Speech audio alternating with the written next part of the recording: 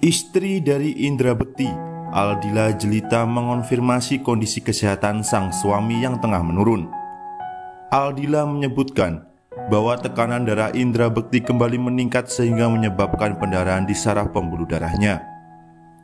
Sebelum lanjut ke inti dari kabar ini, luangkanlah jari jemari kalian untuk menekan tombol notif di bawah jika sudah simak baik-baik videonya.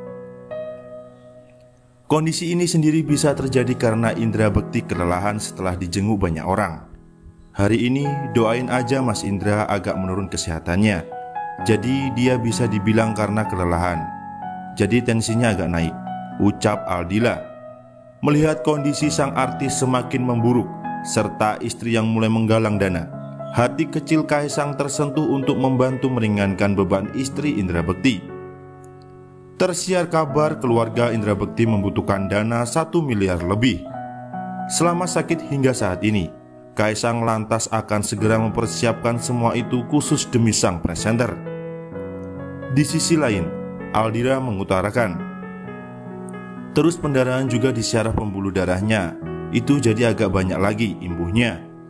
Tak hanya itu, Aldila juga menyampaikan kesulitan yang harus dihadapi keluarganya akibat musibah ini.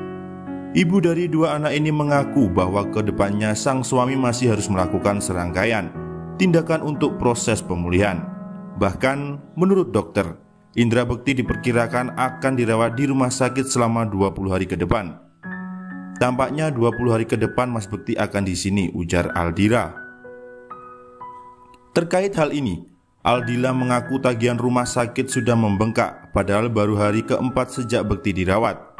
Oleh karena itu, Aldila dan keluarga sepakat untuk membuat penggalangan dana untuk biaya rumah sakit Indra Bekti. Biayanya sudah sangat besar di hari keempat ini. Aku mau memberitahu kalau kami lagi agak berat. Kami lagi usahakan banget. Kami lagi ingin buka penggalangan dana untuk Mas Indra, ungkapnya. Aldila merasa beruntung karena hingga saat ini ada beberapa teman yang telah membantu keluarganya. Rencananya, perempuan keturunan Arab dan Belanda ini juga akan meminta bantuan teman-teman lain untuk menyebarkan informasi tentang penggalangan dana ini. Aku sudah broadcast ke beberapa teman. Alhamdulillah, ada beberapa yang sudah memberikan kebaikan dan keikhlasannya.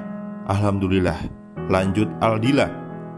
Terakhir, Aldila sangat berharap ada banyak orang yang bisa membantu keluarganya untuk kesembuhan Indra Bekti. Sebagaimana diberitakan sebelumnya, Indra Bekti ditemukan pingsan di kamar mandi pada Rabu, 28 Desember tahun 2022 lalu. Setelah dilarikan ke IGD Rumah Sakit Abdi Waloyo, Indra Bekti didiagnosa mengalami pendarahan otak akibat pecahnya pembuluh darah di kepala bagian kiri.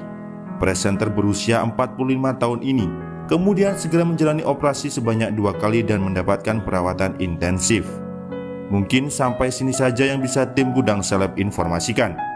Terima kasih sudah menonton video ini sampai habis dan jangan lupa tunggu video terupdate dari kami selanjutnya.